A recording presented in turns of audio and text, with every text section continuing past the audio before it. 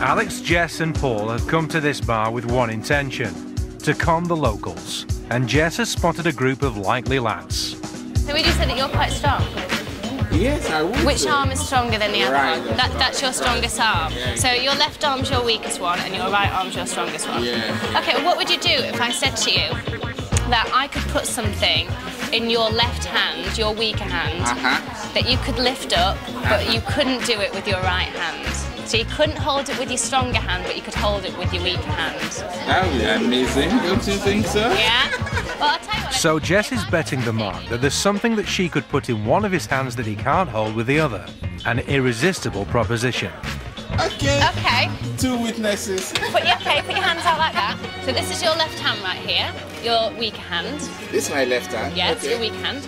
That elbow just there. Bend it. Ah. There you go. Now try holding that with your right hand.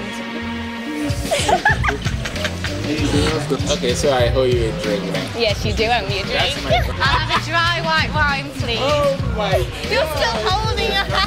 If someone bets you that they can put something in one hand that you can't hold with the other, in other words, your elbow, watch out, they might just be a hustler.